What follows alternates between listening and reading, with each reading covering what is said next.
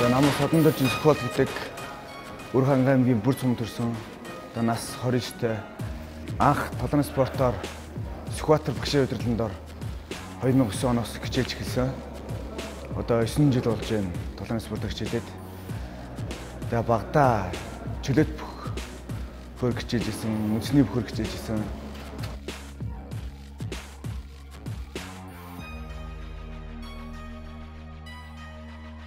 За би багада их хөлгөөнтэй хүүхдээсэн. Тэгээд тим фитнесээ сургууль төгсөөд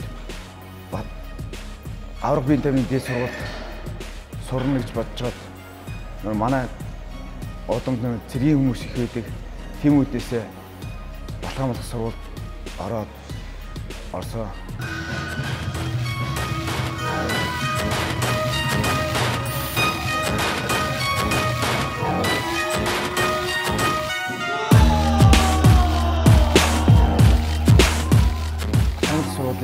Алчин сургуулийг мэрэгэн боловч мэрэгтэй төгсөөд зөвшөөрсний 084 ангид томилогдсон ажиж байхдаа энэ толгойн спортоор хичээж эхэлсэн. Одоо бол зөвшөөрсний зөвшөөрсний 339 дугаар ангид салааны цагч албан тушаалд ажилладаг. За миний толгойн спортыг бол за бүгдээр ингээд болж болж байгаа тэмцээнд урдаанд ихэд орж байна. Тэгээд бас Монголд ч одоо нэг төрлөх гэдэл жилд нэг л удаа болдог болохоор тэг ингээд жил жил гэдэг ганцхан тэмцээнд орчоод ингээд бэлтгэл сургалт тэгэхээр савсагдана. Тийм учраас одоо байн бэлтгэл сургалттай босон тэмцээн болгоно ороо явдаг бол. Би гадны жишээ ярил л да. Би хятадд очиж нэг хэдэн удаа 3 4 удаа очиж хамтарсан бэлтгэл хийжсэн. Тэгээд хятадын хятадын тулаанчдыг болохоор бүр цаанаас усаас нь ингээд бүгдийг бүх юмыг даашдаг.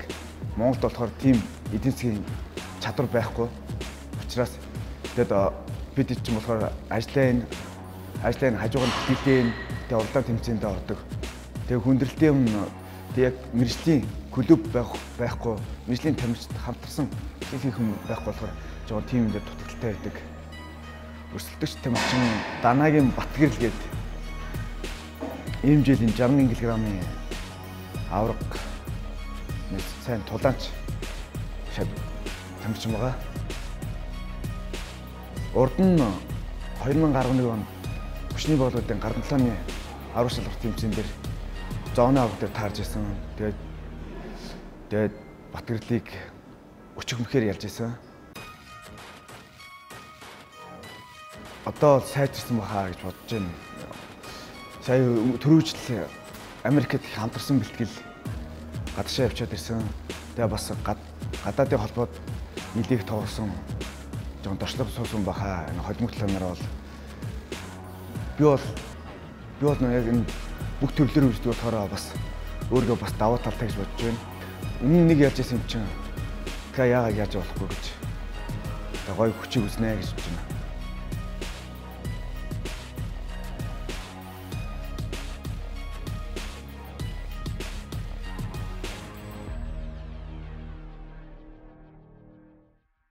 Намаг Данагийн бат гэрэл гэдэг би Скватер аймгийн Эрдэнэ цагаан самунд төрчихсөн.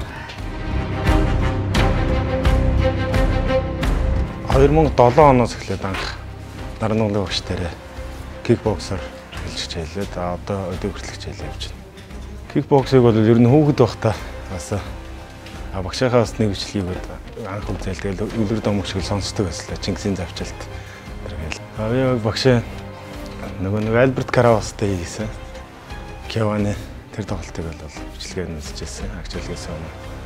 Хэд анх багш Чингисийн төвчлөлтийг хийжсэн.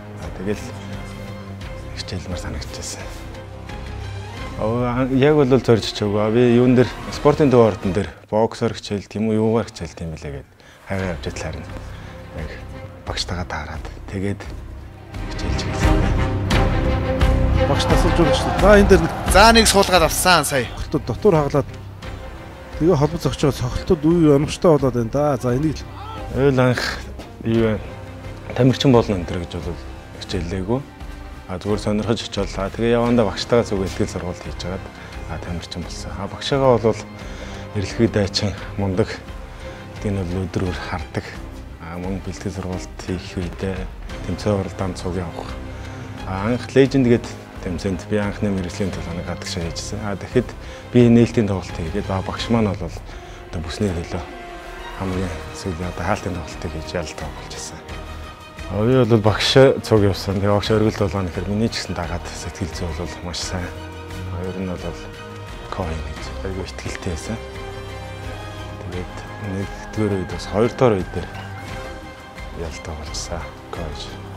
Ван вебсайт тоглох боломж олцоо нөр гаргаж байгаа. Яг тэгвэл багш маань бас аврам бүсийн эдэмшиж ийсэн. А мөн бас Монгол тамирчид бас орт тулж байгаа. Толгоонууд нь ч сайхан болж байгаа.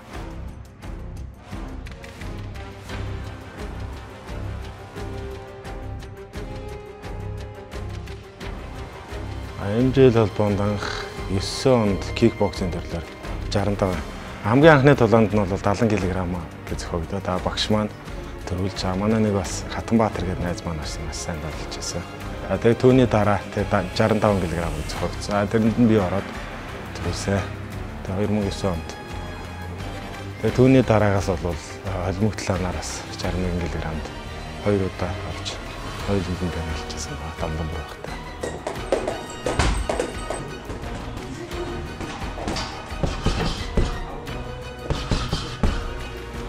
Одоо өрсөлдөгч хоёр нь тоглолт Монголтыг бол үзчихсэн эртнээс мэднэ.